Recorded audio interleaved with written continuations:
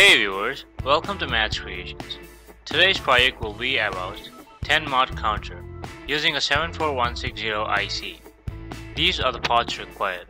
Let us design and assemble the circuit.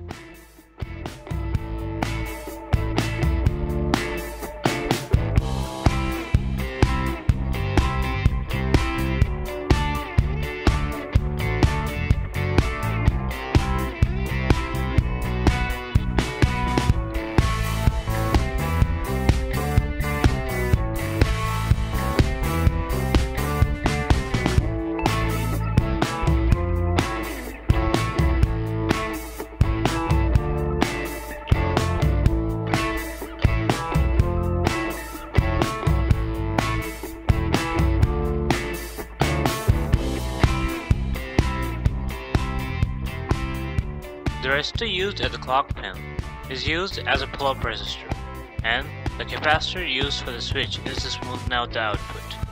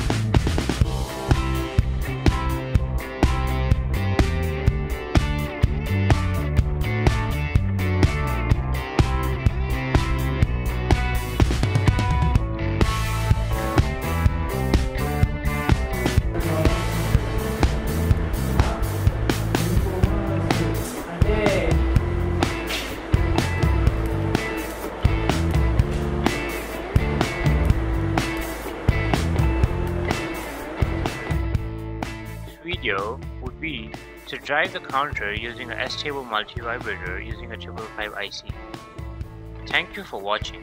Please subscribe.